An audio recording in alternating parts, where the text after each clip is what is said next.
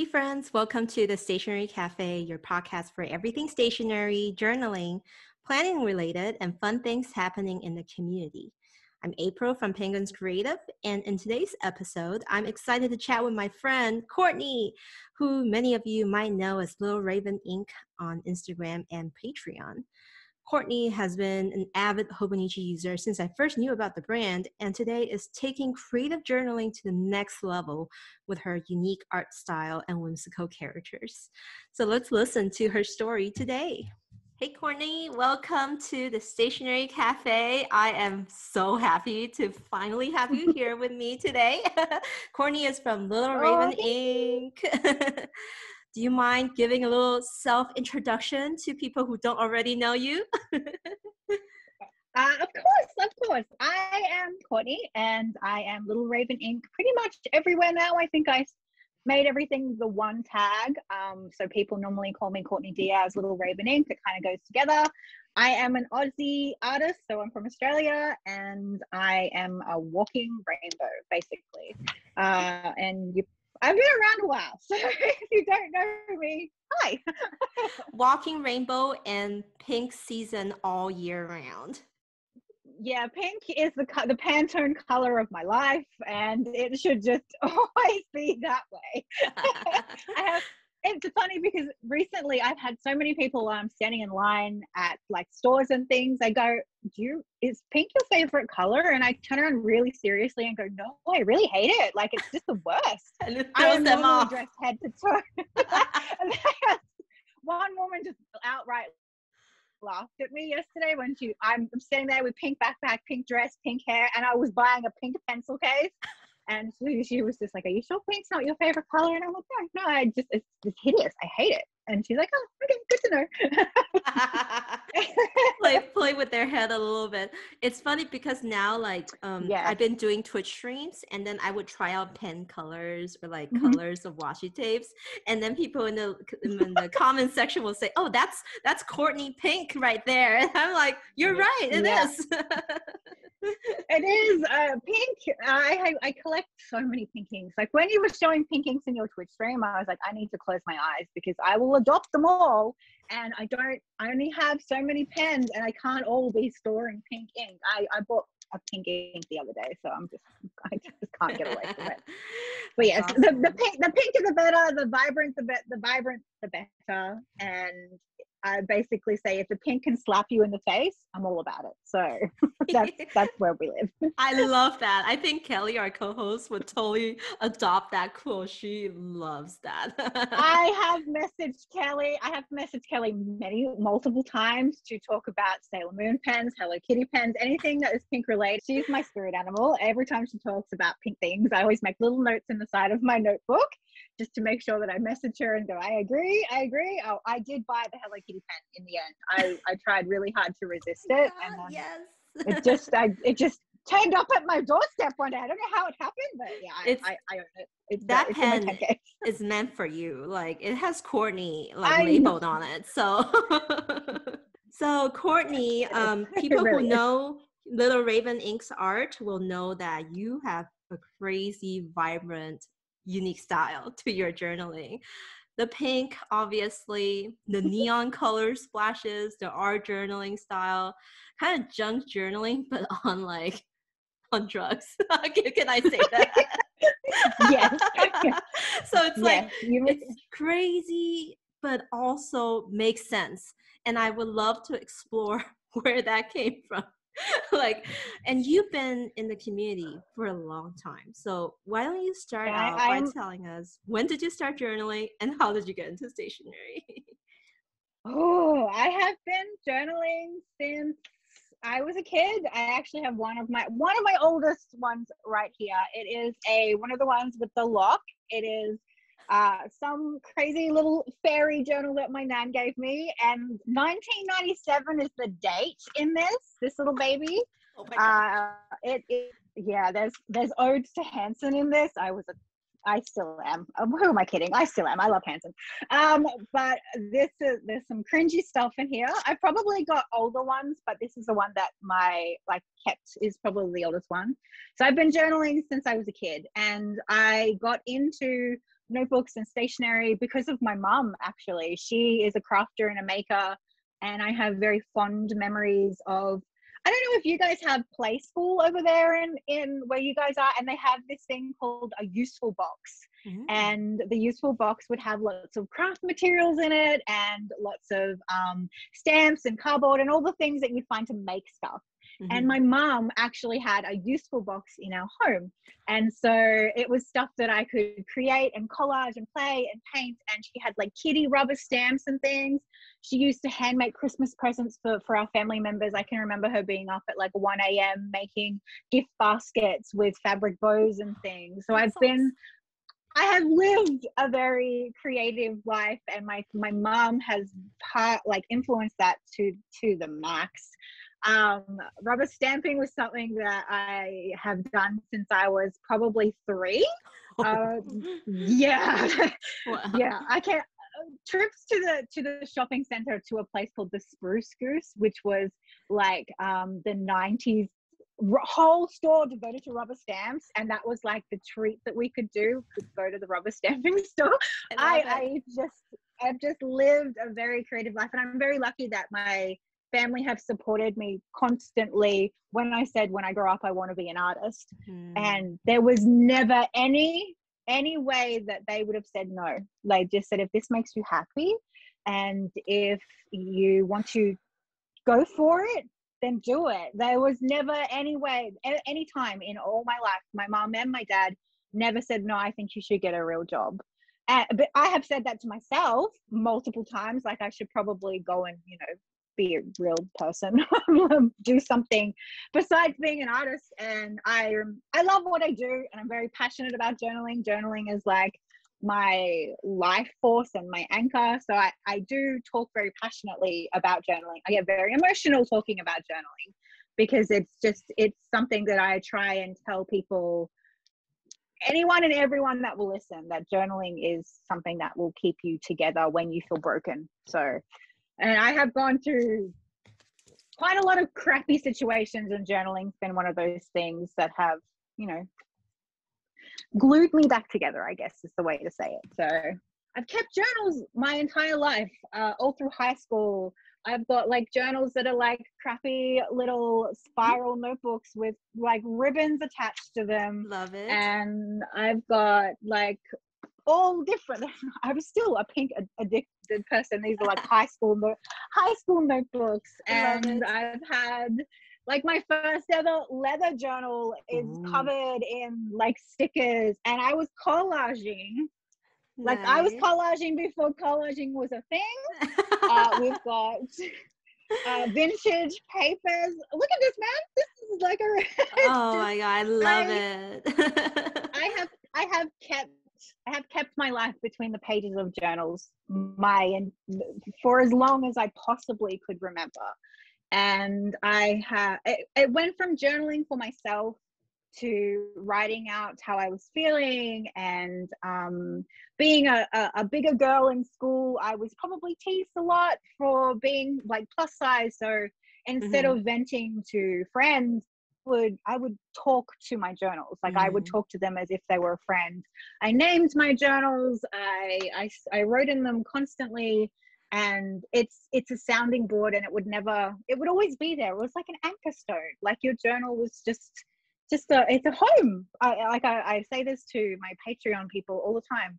Your journal is the safest place that you can go where you can be yourself, where you could say whatever you need to say, and it's not going to judge you. It's not going to tell you something horrible. I mean, you're probably telling horrible things to yourself. I know, yeah. But it'll never, it'll never, it'll never get on board and bash you back. I know. But, um, I just, I, I've lived and breathed writing and keeping journals and art my my entire life. And I'm so envious was, of you and your family influence on that. Cause like to this day, I still sometimes doubt and question if my family think what I'm doing is child's play still at the age of 30 mm. 31 I, I was i was very i was very blessed i was very blessed that my my parents just completely supported when i got into uni um, for an arts to a creative arts degree they were they were really excited for me, even though I had no clue what I was going to do with a creative arts degree. It just made me so happy. And that my mom's always said, chase the joy.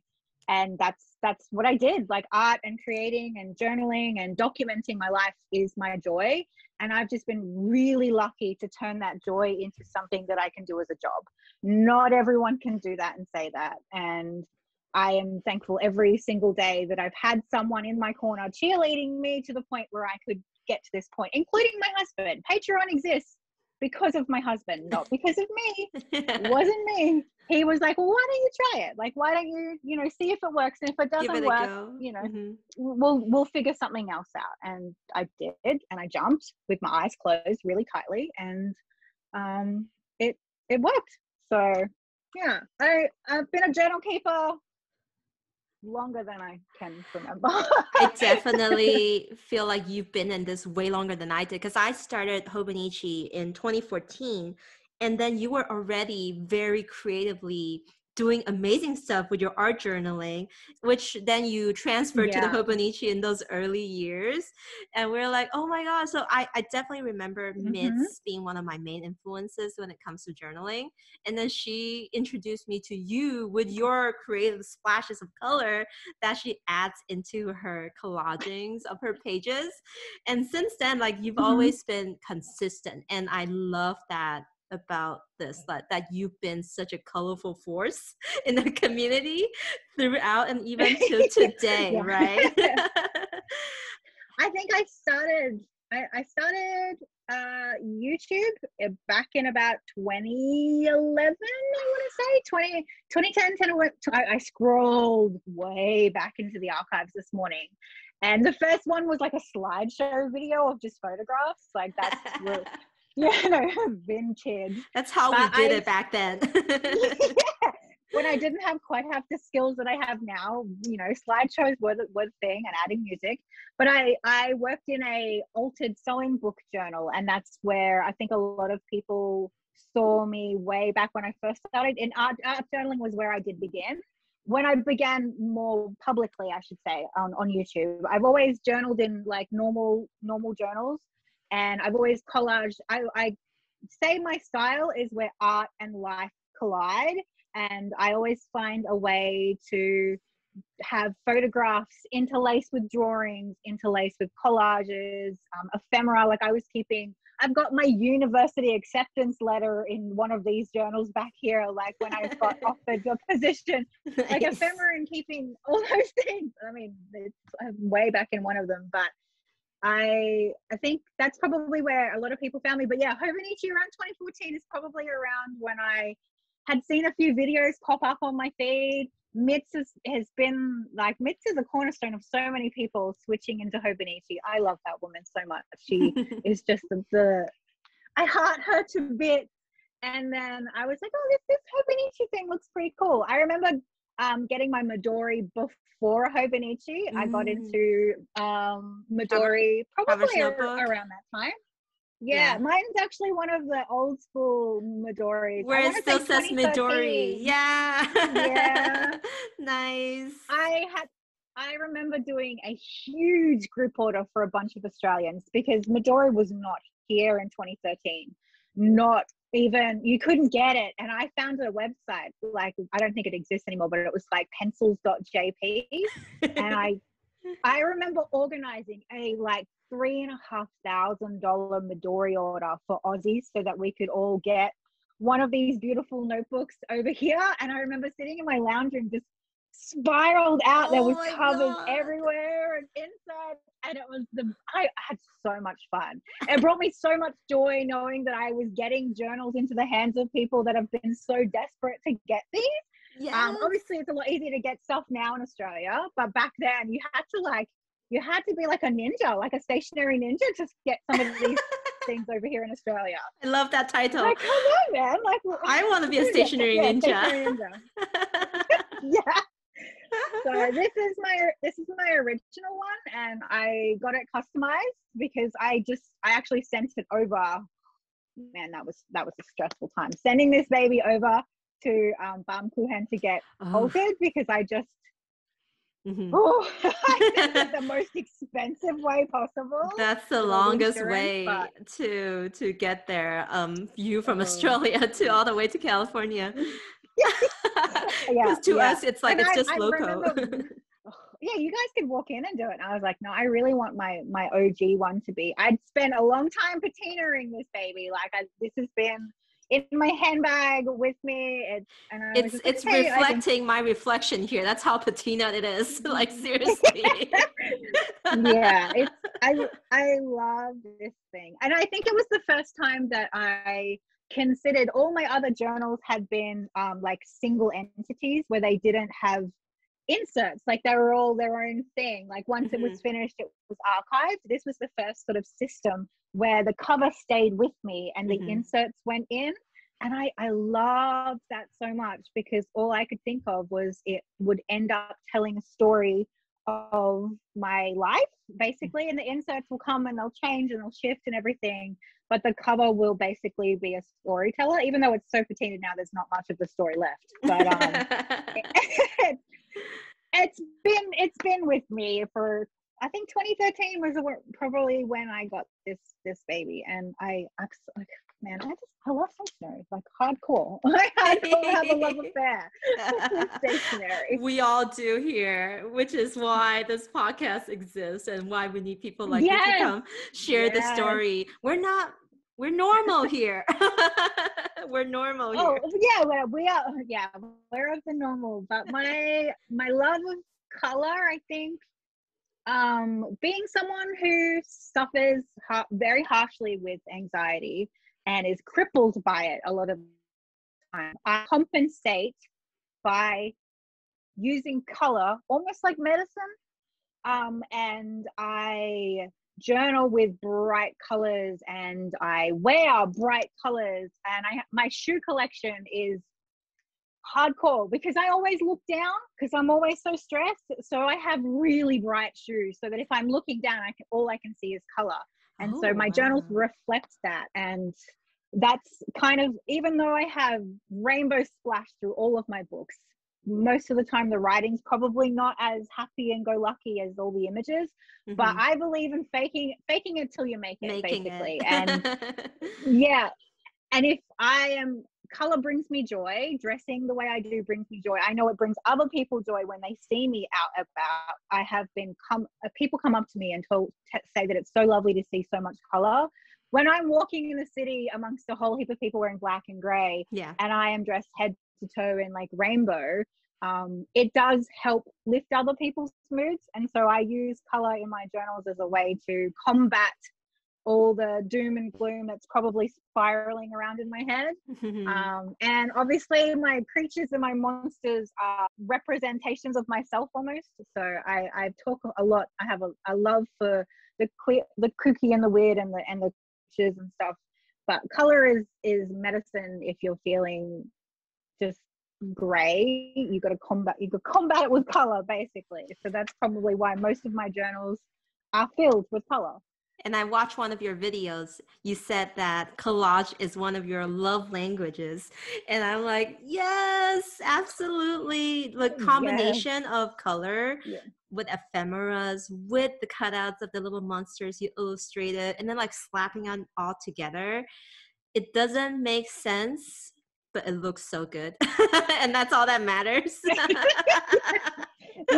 I just think I I like I said I've said this before. I live I live on scraps of paper. I I have like if I turned my camera around, you would see multiple piles of paper. Like there are paper piles, paper tubs, paper. I can't let let go of any paper. It's a real sickness. But um I I love putting together things that oh, like don't don't don't make sense but normally i will have a reason for putting it down it always has a connection to something it always has a meaning um, i put a lot of symbolism in my collage if i because my journals are on display publicly mm-hmm. i use a lot of my collage to code up what I'm feeling without putting it down in words. Uh, and my monsters are the same as that. Um, they will have, if like they might have their head tilted and that might be me feeling like a bit unsure of something.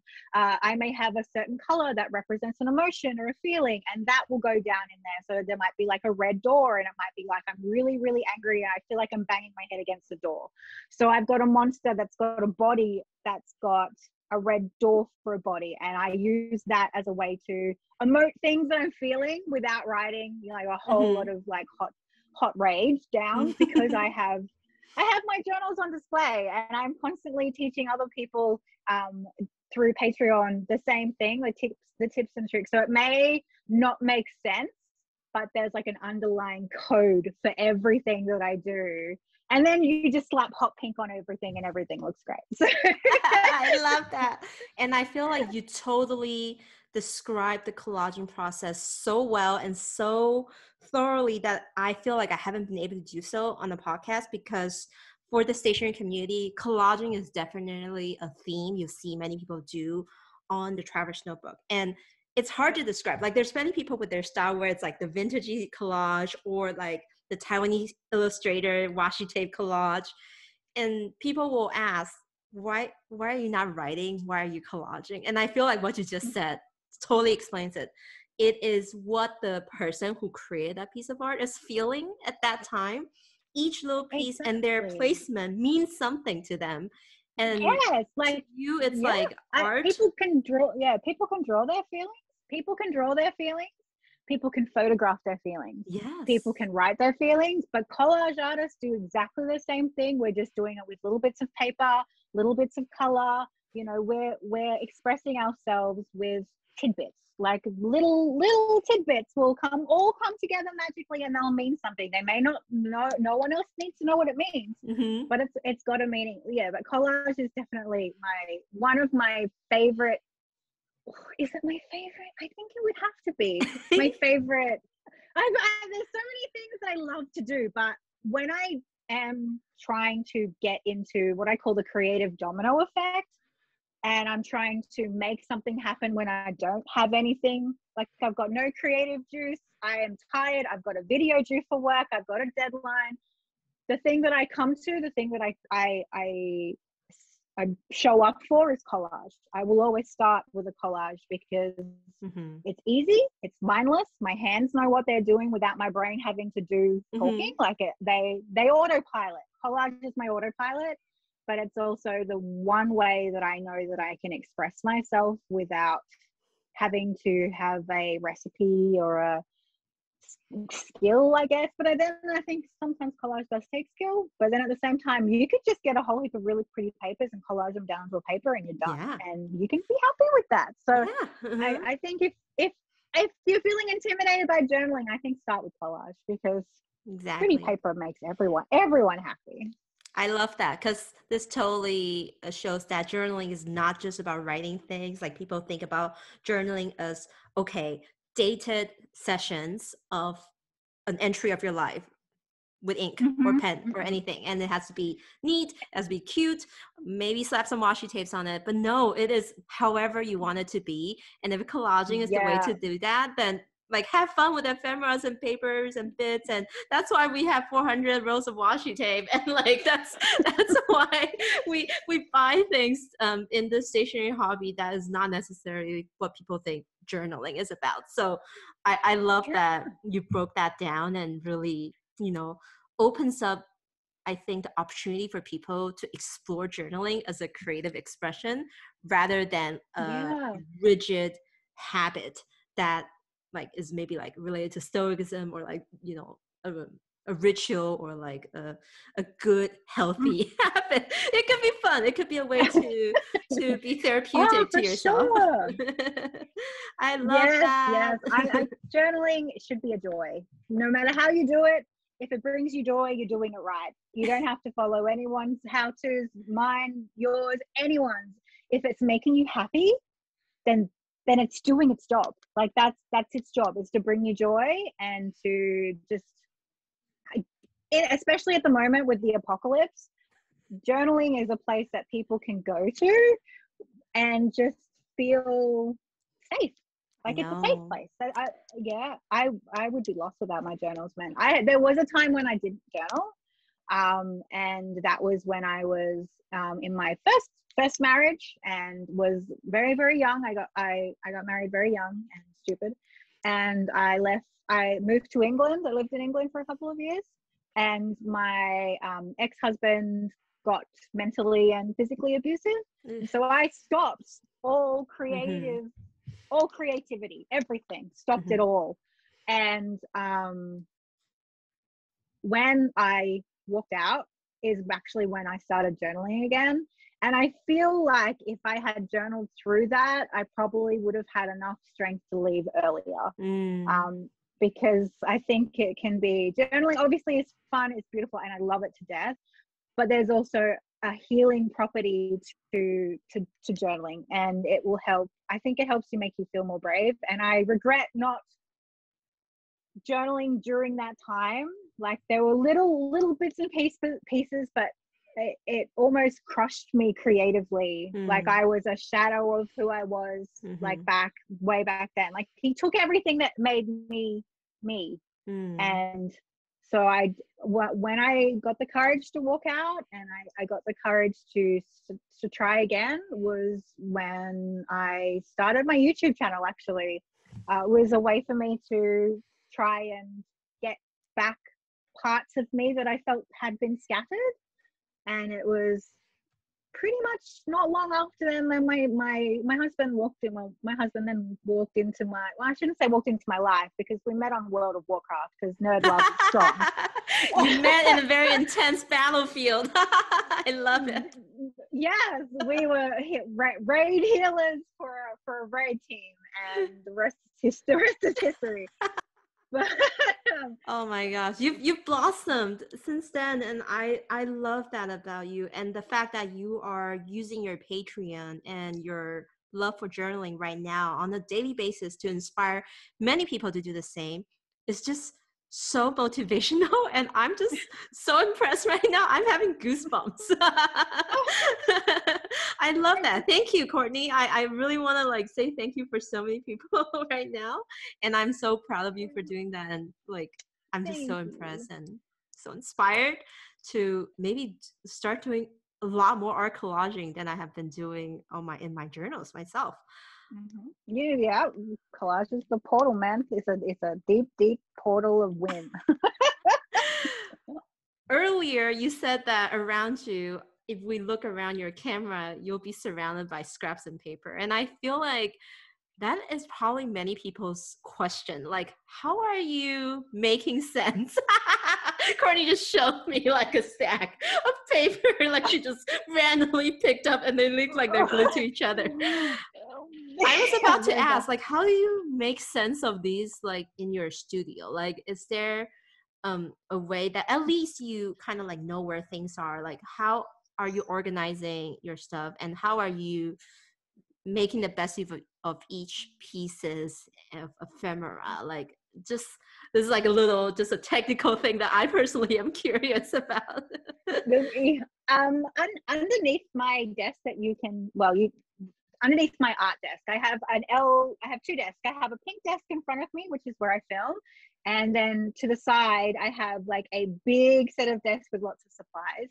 Underneath this desk is a set of drawers that I attempted to really, really hardly to try and have it all themed.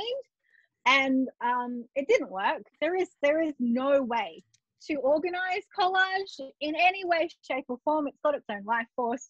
It will take over I have so many beautiful vintage plates that are just um, filled with paper. Like you could turn, I generally try and have little plates of paper that I try and work from constantly. But if you let it take over, it will. And there is no stopping it, really. There's and I wish that I had some sort of guru knowledge on how to keep your collage paper at bay. But no, they have a mind of its own there's no way. And because I can't let anything go, I like this is a scrap of like vintage paper that I'm like, well, there's some really beautiful little bits of ink on this, and it probably will find its way onto a journal page sometime, but today's not the day, so we'll just put it back on the pile. back on the back on the plate. I love that. I just put it back on the plate. I, I kind of keep plates close by because I'm always like there's always a time for collage. There's always a time to put a piece of paper on on a, on your journal page, your planner page. There's always time. But I do have drawers underneath me that if I opened them, I would probably be attacked by paper. Um, I do try and organize once every six-ish months to sort of go through things and part with some things. I also have two very um, lovely best friends that when they come to sleepover, we have sleepovers like we're five. We have Artie Creative Journal sleepovers once. Oh my god, that's the best. they come to my place and then they take little baskets and they come and shop my stash. So they help take away some of the stuff. Um, they're they're very it's for the cause they say it's just to help me stay on stay on top of things help trim your room a little bit you know like it's like a huge Yeah. plant that keeps growing you gotta snip off some extra branches to That's keep it right. growing So they, they go in over the night time. I just stay in the dining room. I just let them go pretty buck wild in here when it comes to uh, papers. I, I do sometimes look through their stuff before they leave my house and be like, you better not be um, taking that scrap with the note with the ink on it yeah, you know that, that you know that scrap of pink paper, put it back. please. Um, but no, I I try and cull probably once every six months, and will keep things that have some sort of meaning that I can see is working. If there's, I have a lot of bo- body parts. I have a lot of monster body parts um, that are lurking around like monster heads and eyeballs and things that just sort of live. And if they really, eh, really want to be part of a collage, they will end up smack bang in front of me on my desk. They'll find a way to my hands. Um, but there is there is no way to really tame the collage paper beast. It's just lots of plates, lots of boxes, lots of drawers, folders, journals. Um, I, I wish I had better better uh, better That's just the reality of it, guys. Like seriously, there's like no way to to organize all this, especially when your creativity needs to unleash. Like, don't don't try to get in the way by making it hard to find something. Okay. exactly. I, my husband tried to help me. Husband tried to help me organize my studio a couple of weeks ago, and he put like my pouches underneath my desk. And I'm like, "Do you know who I am, honey? Do you remember who you married? Why are they under my desk? I need to see them. I need to see what I have." And he's like, "But then you don't need all the pouches." I said, "I don't need them, but I like to look at them." And the same goes for paper. Is that's why I have like little trays of paper on my working desk and then every couple of months i'll actually pull out the drawers and switch the paper up i will Mm. like that way i'm i'm i feel like i've got new things um, Reshuffling and a little bit. yeah reshuffling and because if i'm staring at the same tray for like six months and obviously they're not being used for six months Mhm. it's time to to change it up and you know refresh what's on the plate but i just keep buying plates stores. Love it.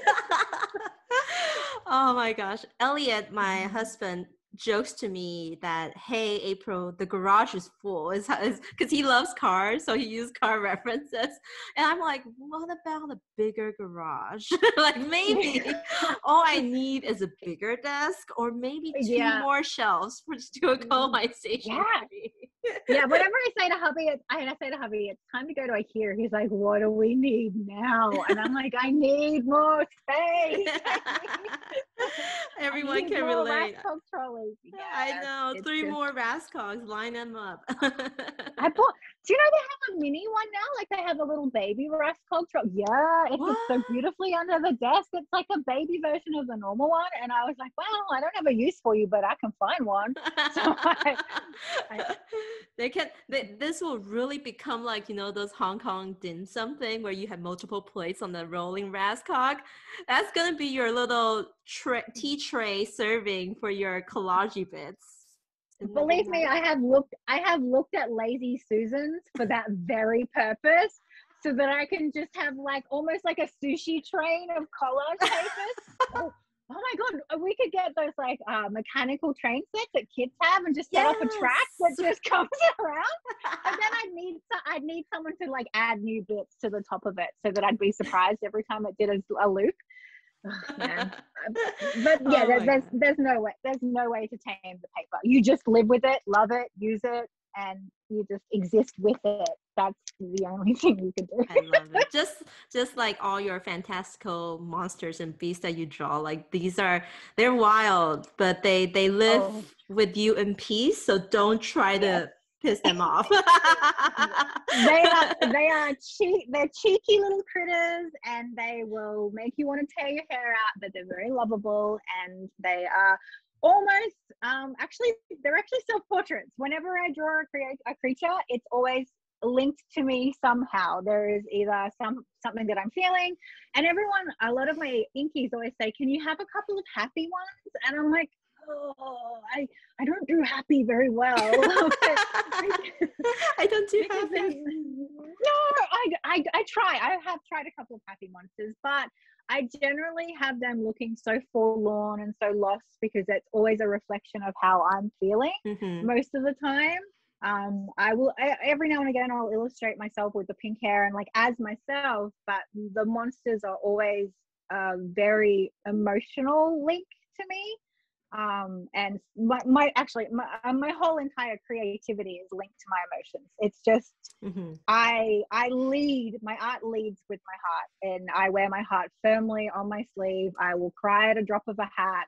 I was just doing a patreon video last week where i was talking about my monsters and and how they are linked to how I feel. And before I know it, I'm sobbing to them as I'm trying to talk about monsters. And I'm like, honey, get a grip. Um, but it, it, really is. I, I am a super emotional person, and my monsters are very much linked to that. So if you see a monster in someone's journal and you know it's mine, it's probably me feeling a bit lost and a little bit like alone and sad. But um, they are the they are well the cherished and well placed in the stationery community they, around yeah. the world. I think that's a great they, way to look at it. We're all they little... are they they protect the journals of the world. That's what like uh, they're journal protectors. Those little guys because they they protect me and they have the. Oh, they just they they jump around in here and they they they it. if one if I draw something and it has a voice and it, and it talks back to me, I know that it's here to stay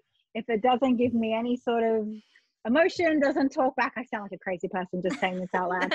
no, not at all. I I am feeling all of this, and I think in a way, journaling for us, we need a little bit of that vulnerability on our pages sometimes we're not brave enough to write about sad things.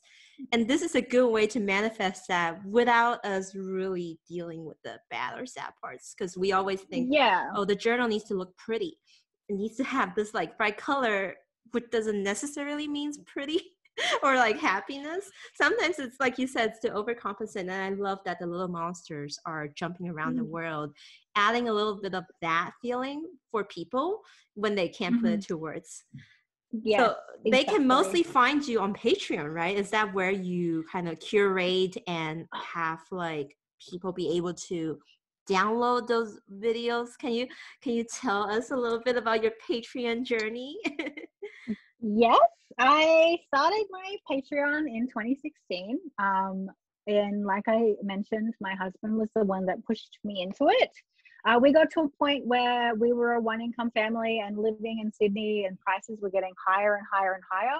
Uh, two kids, and it's not cheap to live here. And I kind of was like, well, I think it's time I like the kids are, are getting old enough now where I, I want, you know, they're in school. It's time for me to, you know, help with the, the family finances. I didn't want to feel almost useless being at home. There was no reason for me to be at home. And, and I was making YouTube content already and I was doing really well at, at it.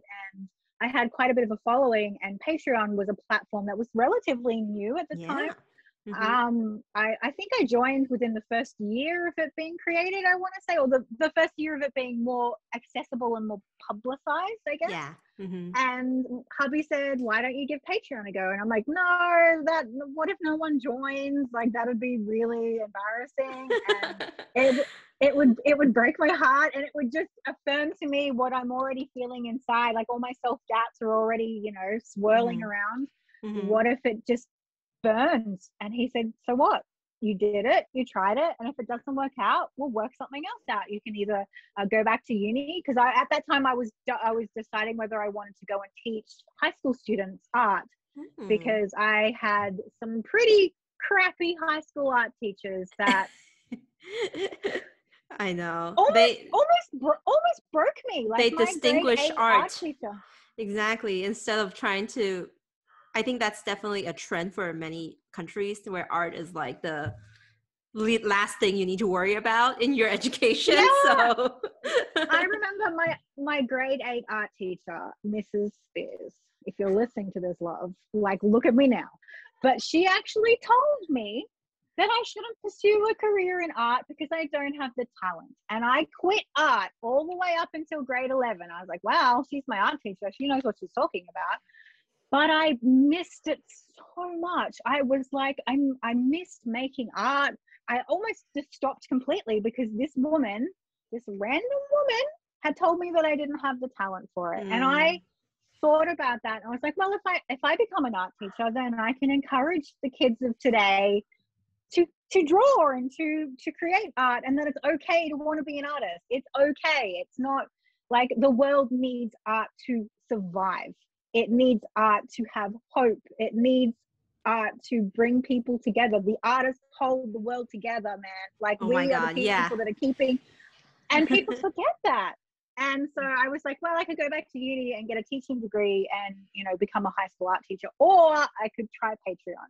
Right. And so I was like, well, doing Patreon and doing working from home meant that I could still be home for the kids when they came mm-hmm. home from school, which was a big factor for me being home for them and being and making sure that I could be there for them when they needed me. My mom was um when I was a kid, she was a stay-at-home mom right up until I was um late primary school and right. mm-hmm. the the difference between my sister and I is my mom went to work when my sister was in primary school and there's a massive difference between us in our personalities and how we grew up and so I was like, okay, I'm going to see if I can do this. And so I, I launched, I had about 10,000 subscribers on YouTube. So I had a, I, know, okay following. Like it's obviously slowed right down because most of my creative energy is now poured into Patreon. Mm-hmm. Um, and a lot of people miss me on YouTube. So I'm slowly trying to get enough of me to be, to juggle both platforms.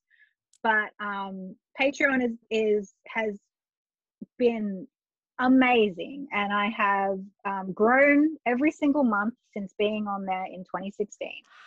I have worked my little heart out. Um, Collage Sheet Day is huge for my little Patreon Inky tribe, um, and I give I give everything I possibly can, and I also feel safer because it's behind a paywall that I can be vulnerable and I can put my heart out into a video because people that are there are there for me and they're mm-hmm. there to see me work and me journal. Whereas if I was to put some of the stuff that I do in Patreon up on YouTube, that is opening a gate for like people that don't know who I am, don't exactly. really know much about yeah. me. And it just, and it trolls. didn't, I wanted, yeah, and yeah, trolls, man, like don't feed them. Um, it, it's, oh, it's been fantastic, and I I could never have expected it to get to the point that it is now, um, to the point where I feel almost like a legitimate part of my marriage where I I I'm an equal with my husband. I've almost taken over my husband in income and my, wow. my husband, you know. Congratulations. Like I, That's awesome. That's I, have a, I have a mini competition with myself and him. He doesn't know about it, but I'm like, I'll take over you one day. Like that's my goal. So is um, it's it's been amazing, and I've been super super lucky and super grateful that I've created a, a community of people where they feel safe to also soundboard back to me how they're feeling, and the Facebook group for the top tier uh, pledges become a haven for everyone where they can go and vent and talk about something that's going on in their journaling and know that it's a safe space for for whoever's in there and i i just it's i can't i can't put into words like i would i would stumble and i'd get tongue tied about how passionate i am about my patreon work and that i i don't go in it to teach you how to be a journaler mm-hmm. i don't my teach uh, my teaching style is not here's how you do xyz mm-hmm. I, i'm not i'm not that teacher i will hold your hand and i will give you i'll take you down a path and i will show you streets. And Hash, hashtag choose your own adventure, right? exactly, exactly. I just I I don't want to teach you how to draw like me. I don't want to teach you how to journal like me, but I will inspire you to journal as much as you possibly can and and however you feel comfortable. I I don't feel like I would be a very good teacher at teaching you how to draw monsters. I mean, there are tutorials there, but they're very few and far between. I get passionate about teaching people to explore and get all their emotions out in their journals. Like there have been women mm-hmm. that have not even started journaling and joined my Patreon and they've messaged me and be like, where have you been all my life? Like I, I've just I've discovered journaling through you and now I can't stop and I've never felt better. And um, you know, there's been people that have lost loved ones and they're using their journal to heal through that. And I my my Patreon is more about inspiring you to journal how you want and I will give you techniques. I will give you like the a loose recipe of how I do things. Mm-hmm. But I I want you to do it your way. I don't want you to be a carbon copy of me. There's no point in that. I want you to find your own voice and your own style and and your own joy. You got to chase your journal bliss, man. If you that's that's what Patreon has been for me is teaching people to get excited and passionate about journaling because I can't ever see myself not journaling. I'm going to be 90. I'm still going to be writing in paper books. I don't care if the world is digital and like computers are running the world. I have enough supplies to last me a few lifetimes. They will only be used to power your rota- rotary machine that gives you That's that right sushi. um, train. Yes, that's right. I, I, I don't it. think I could. I could never be a digital journaler. I can. I digital art. I have. Um, I've found a. I guess a, a happy medium between smashing digital and traditional stuff together mm-hmm. with my collage sheets. Um, but yeah, I my Patreon is is where the party's at basically if you want to see more of me that's the place that's the place yes yeah. awesome oh my gosh i i feel like already what you've shared so far on instagram and youtube have already been a vibrant representation of what you have been creating and it's just. So amazing to hear that there's more. There's more on oh, patreon. So definitely i'm like now i want to go and subscribe to a tier and see what all we're like be at the party. I'm missing out. Yeah.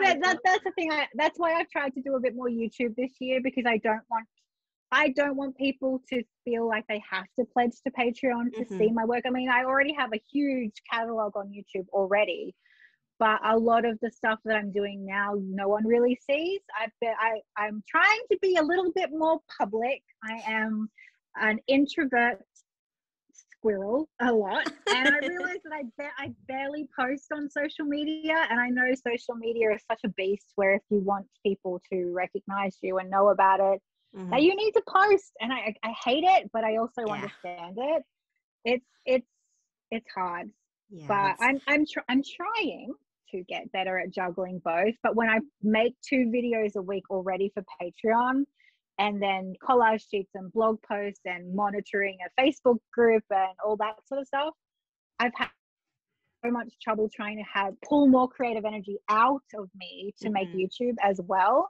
um, and because patreon pays my pays my bills. Like that's just a that's mm-hmm. just the nature of the beast. I have yeah. a family and I have two kids that you know and raising kids is like just a money sinkhole like money sinkhole.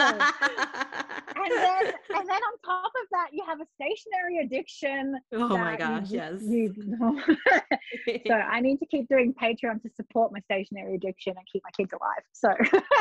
Totally agree with you on that so please continue to do so. And Speaking of the stationery addiction, I have to ask you can you share with us your 2021 planner lineup? that's, that's what I'm most excited about. And I've already seen a sneak peek. Okay. I went on your YouTube channel and saw what you did with the Noti, and I am so excited to follow your path. oh man. So please. Uh, okay. Okay. I love that you said this is the last portion. It's like the first question on your questionnaire. Like, what is your 21 lineup? And no, this is the last bit. It's because I cannot shut up. No, And no, is this is perfect. this is why my this is why my Patreon videos are like one and a half hours. It's because I don't know when to stop talking. But when you love something, a lot about it. You talk a lot about it. Um, okay, my 2021 lineup. My main journal and the one that I do the, the most in is obviously the Hobonichi. Um, it is in the sweet pink leather cover, which came back in that meet again sale. Oh my goodness, I am I'm praying, I am praising the journal gods because I missed out on this the first time it came around. And I was so mad at myself. I bought the A6. I don't know why. I don't even use the A6, but I think it was because it was like so expensive and I'd already bought so many covers and I was like, I can't justify the A5. And then I was trying to find it secondhand and no one will give it up because no, it's no, no. This is a treasure there. Oh, I, hunt, I hunted high and low for this this cover and I could not find it. I said to my husband, I missed the unicorn of my life. and then when they had that like meet again thing, and I was all I said to my husband was, if the sweet pink is there, I'm not asking permission. I'm just gonna buy it. Just know it's happening. And it was, and I, I was I was just I was so excited. But it's in the sweet pink leather cover. Um, and I actually switched back into this cover for this for this meeting because I put my I put it into a brown leather cover. I said, well, that's not a representation of who you are so I, I put it back in, and I have it's it's like bright and colorful and crazy, and there's paper in the pockets and everything you could possibly want. Um, I'm pretty sure there's actually a flat lay of this in Instagram, maybe I don't know. I but um, I got the Avec, and this is the first time I've actually bought the Avec. And it's because every time I get a, a A5 Hobonichi, I end up having to perform surgery on it because it gets too fat. of course. I'm like I'm already in February, and this is already bulking to the Oh. point of no return. I love that. I love Ah. how how the Hobonichi allows us to go that hardcore in our journals. Oh my god. Yeah, I I wanna I wanna if if Hobonichi are listening, could you release this in like two month volumes so we could have Hobonichi every two months a new book because I'm in February and I don't want to perform surgery on an Avec and I'm I'm I'm, I'm at the point where I You're about have to.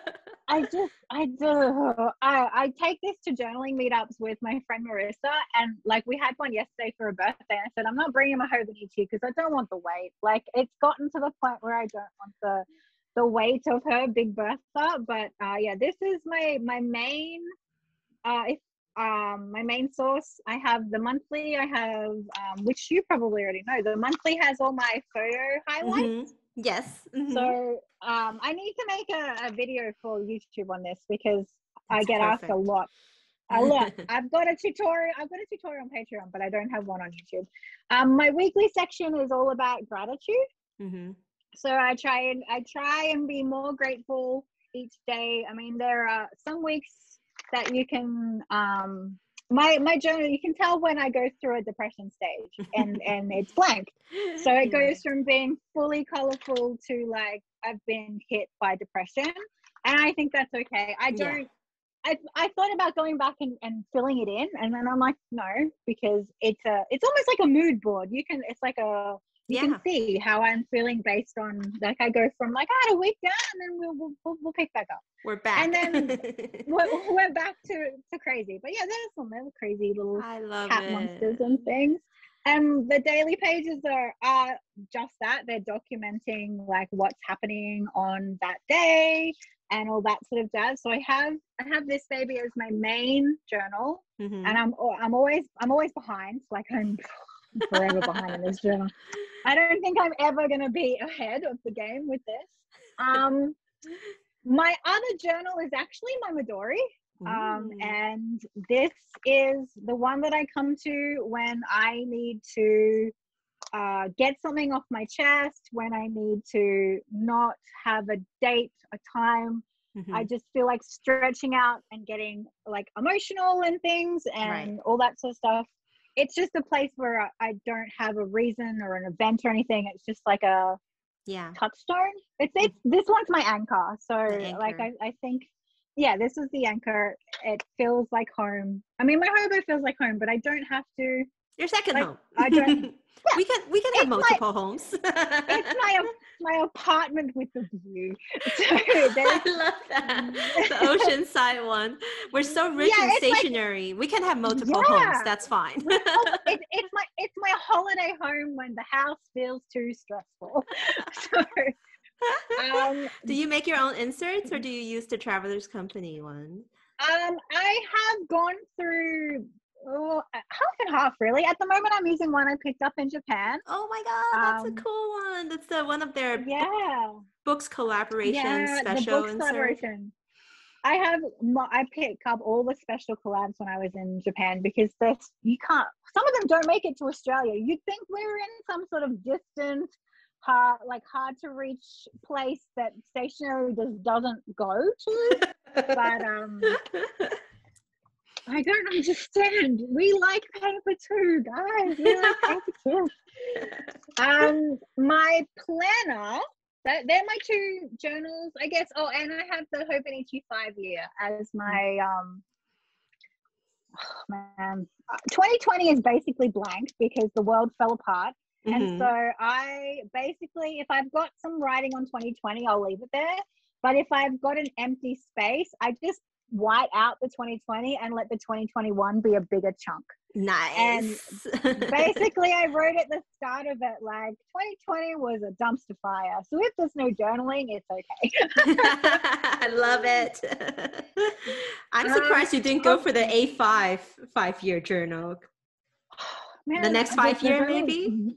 maybe maybe i i i believe me i have considered buying the a5 next year and be like well i could give the a6 to my kid but no it's um i like that it's small and compact i think i i don't have very much room on my bedside table because i have a lot of mm. stationery on my bedside table and so i needed it to be small and compact i guess so um mm. i i I did consider the A5, but I'm like, if I'm already struggle streeting on getting my daily pages done, yeah. like, mm-hmm. I, I, I, it's okay. I, we'll, we'll do A6 just for some. But obviously, you've seen the little pocket rocket in my latest uh, my latest Love YouTube it. video, my my little. You are making me jump ship because I have repurposed this noti multiple times this year. It's only February. It is currently my Japanese learning journal. But after watching your video, oh my god, I'm getting so excited talking about this. I'm like, I want to become. I want to journal that way. How what you're doing because it is happiness in a little package it, it, really is. It is just.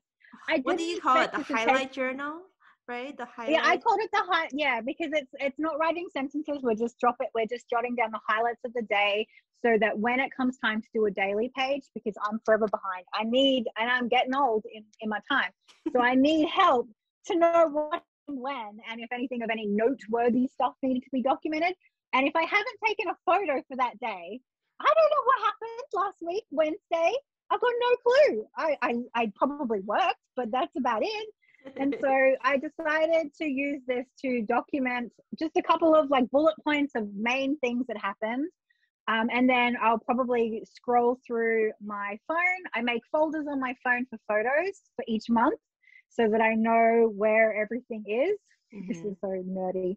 Um, and then I, I, I haven't talked about this guy yet, but this is a um what do you call these things? Uh, like a Rolodex. And Ooh. so I put I put one to 31 and and a little card on the front. And if I have any ephemera that matches that day, instead of bulking up my hobo waiting for it to be used, I put it on the corresponding day and then I will stamp the card and note down what it is and where it came from. So I just repurposed it with wow. uh, lots of scrapbook papers. Like this is like office nerd chic. so it's to help me because I collect so many bits of ephemera and then they get all jumbled up and I forget what went where, what right, meant to right, go. Exactly. So this way I can just slip it into the date and the so each, days. The corresponding day and then hopefully I'm not more than a month. If I'm more than a month behind, this is not going to help me. There's no hope for me if I'm more than a month behind. This is just I love this idea, and I want to go to my closest office max, the Staples, the, the boring stationery stores in like yeah. US. That well, it is boring. Like, they're the boring. Yeah, they're the they are the boring colors, but I just like retab them with like scrapbooking paper so to make it all cute. You only see the tabs, so the tabs are still cute. I love but, this because um, my issue with my ephemera is that it's just like a perpetual pile on my desk that I I shuffle to the side when I need to place my laptop here, and then when I need to do something else, I shuffle it again, and then probably once a month I would like, all right, what what am I doing with this yeah, deck? Yeah, yeah. or it's like, or it's like stuffed into the back of my Hobonichi, yes. and then it kind of ends up like this, where it's like got that like like ephemera belly. You know how you have like like a food baby ephemera belly in my back of my journal, and I was just getting so annoyed that I would be like I have so much paper on my desk already, but then adding daily ephemera to it, I kind of go, where where is what it what did I collect on this day? So I'm trying to be more efficient with ah. my ephemera building. So I decided to trial this as an option and I end up once you st- I have like the mini data stamps. You can mm-hmm. date the little cards and say like on this day, on this day. So they'll end up being ephemera at the end of the year. You'll have all these like little dated stamps and like handwritten notes. I'm like, well, that'll be cute. I can just keep those into my journal. this is why this is why I need uh, two monthly books for every Hobonichi because I, when in when in my my motto is when in doubt, tip it in and that is probably not the best advice if you don't want to bust the spine on your Hobonichi. But um, You're challenging my planner, each year. each year, uh, my planner is from Paper Mood, uh, which is a brand that I was introduced to through an Aussie store here um, called I want to say it's called Bun Balgu or Bun Bugu, mm-hmm. and they are have become my my favorite shop to shop at because they're slowly getting in Japanese stationery, really like current stuff, not like three years ago stuff, like like finger on the pulse stuff, which I'm really I'm really proud of those guys for doing it. They've been fantastic, and they introduced Paper Mood, which I think is the Chinese. Mm-hmm. Is it Chinese? Uh, I think it's company? a Chinese brand. Yeah. They did like yeah. the daily page, sort of similar to the Hobonichi, right? Mm-hmm. Yeah, but I love it because it's B6 in size, so it's not too big and it's not too small. All B6 right. is probably probably my secret love child of sizes.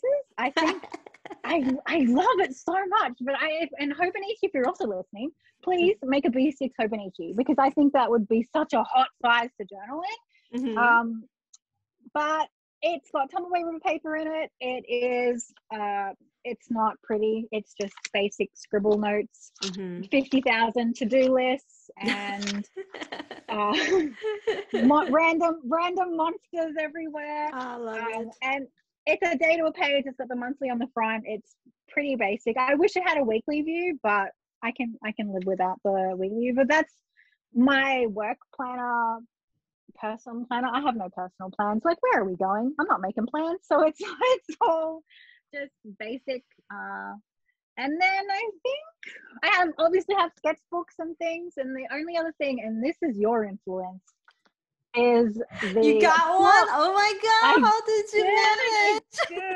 it's a plotter, well, guys. it's a plotter.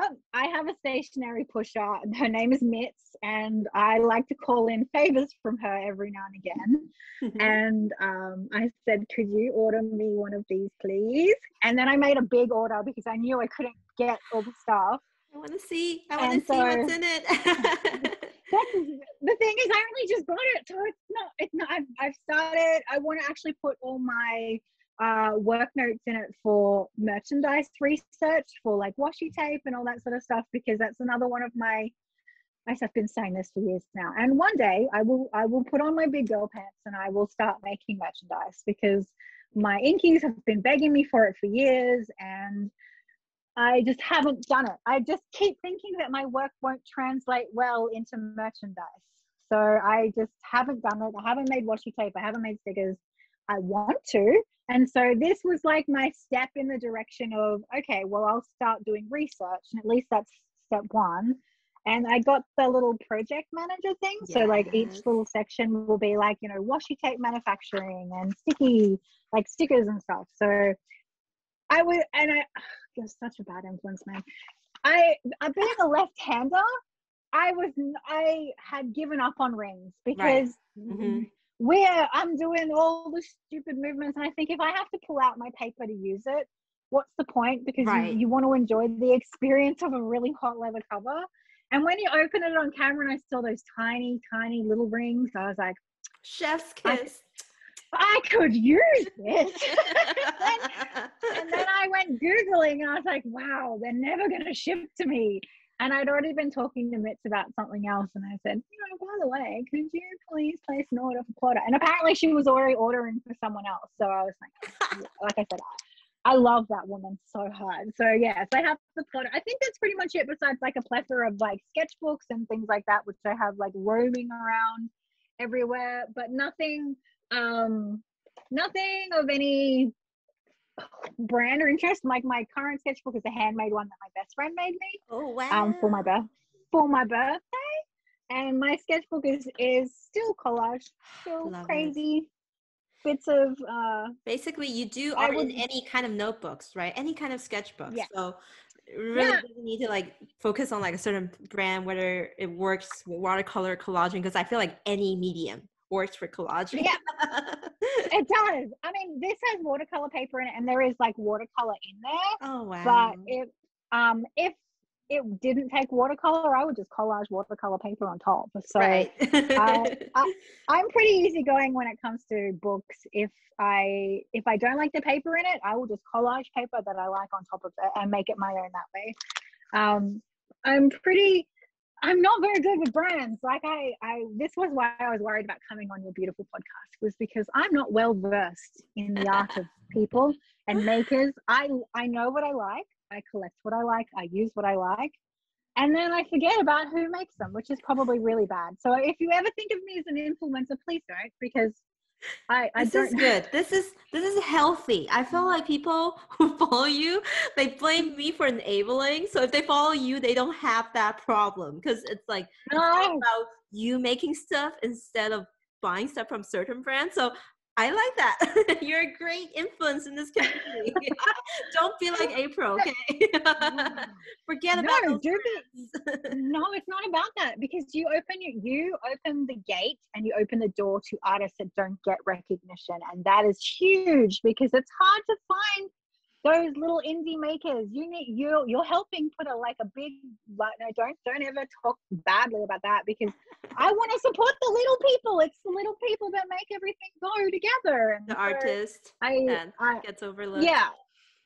You know. I i yeah, think it's they, also they, in me because i i grew up also being like you know art should be a hobby.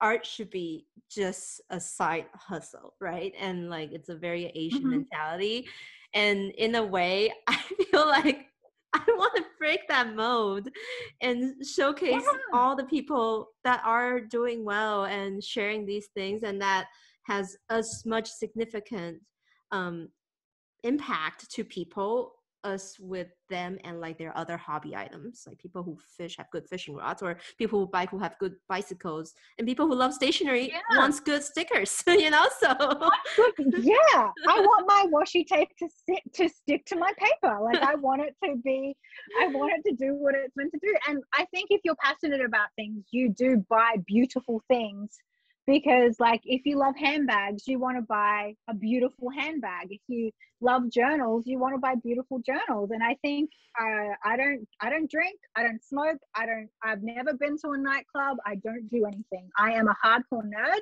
i have a pink gaming section or like a pink gaming computer and I have a lot of art supplies. And I didn't always have the best of the best. I always bought the best that I could afford mm-hmm. because I was a I was a single mom on a on a single income and I had two little kids and I could I saved to buy my Prismacolor pencils. I asked for things for my birthday, for Christmas. Like I I upgraded as often as I could um, because I know that if you love something, you put you put money into it and you and you buy things that make you happy but that doesn't mean that a, a five dollar watercolor set from um, i want to say michael's or, or like spotlight if you're australian mm-hmm. um, if it brings you joy i like i lived on those you know those big old yeah like but i haven't always like uh, if you could see my studio i am surrounded by high-end art supplies but that is what my life is now. It was never like it was back then. I'm still using the same Neo Color 2 crayons that I was using in 2013. Mm-hmm. They are broken, they are haggard, and they are like little nubs, but they're, they're still shocking. And I, I saved a lot of money to to buy those things because I loved what I did and I wanted to use the best that I could afford at the time. Mm-hmm. But when it, when it comes to journaling, anything goes. Like some of my favorite journals are exercise books covered in fabric that I had in high school. And they were just a, a 57 cent exercise book that I covered with some fabric that I stole from my mom. I'm sorry, mom. Um, and I, I, I, I, hot glued it, and that was my journal. And it was and it was amazing because yeah. it. I'm you make it amazing. You you don't have to have all the pretty and the glam and everything. I mean, it's beautiful to have. Don't get me wrong it's lovely to have beautiful things, but you can make a, a magical space in anything because it's it's containing your life. It's containing your, your story is in between the pages of whatever journal it is that you can get your hands on. Don't think that when you start out, if you are a beginner and you're listening to this, don't think that you need to have 57 leather covers. Do not think you need to have a Hobonichi or whatever mm-hmm. journal is currently trending. You can have the crappiest like this little notebook is it's called the little fat notebook it costs a dollar 20 it is just lined paper but it is filled with sketches and drawings and then i put some ghetto ribbons on the side to try and make it cute but um but i i love i love it love it's part of my story yes. it, like i i every book, no matter what it is, or its price tag, or if it's leather or not leather, it contains your essence and your soul, and that doesn't have a price tag. That's one of the most important things that you can do. And I think that just start. Doesn't matter what you've got, just mm-hmm. start, and the rest will follow. The yes. rest will follow. Exactly. Um, yeah. I, soapbox. I, will get off. I'll get off my soapbox now. I, I will happily place that soapbox for you anytime because I love every single thing you just said. And I think it is an echo for to how I've been feeling all these years. And I'm just so happy that you are actively inspiring so many people in your community to do the same. And I can only hope to be there someday. uh, no, you're, you're already there, my love. You are already there. Believe me. I, I don't want to, I don't want this conversation to end, but oh my god, I love everything we talked about. And for people who wants to be who wants a glimpse into the Little Raven Ink journaling world, you know, you you can go to our Instagram and YouTube, but under Little, Little Raven Ink but of course i highly recommend checking out courtney's patreon where all the magic happens. It's the party right? Like so yeah. i already told you where to get the tickets. Just just head on over Give, go to one or two you know? And yeah you, you know yeah you've been a great influence in the community. You inspire people who are inspiring other people like Mitz and everyone else. So i just i'm just so happy to have you know known you as a friend all these years and that oh, it really proves that the station community is not just a plaything like we are real people in here doing mm, things yeah. that change our lives every single day yeah i agree hope this episode can change yours too whoever's listening yes. because it definitely changed mine. Oh, oh my gosh you're too sweet you're too sweet. Thank anyway you Thank you guys for tuning in to another episode of the Stationery Cafe. Um, definitely check out Courtney wherever she is. And if you are interested in supporting us, we always welcome a review on Apple Podcasts and, you know, check out our website, thestationerycafe.com. And as always, we'll look forward to bringing you another great episode next week. Bye, Courtney. Bye.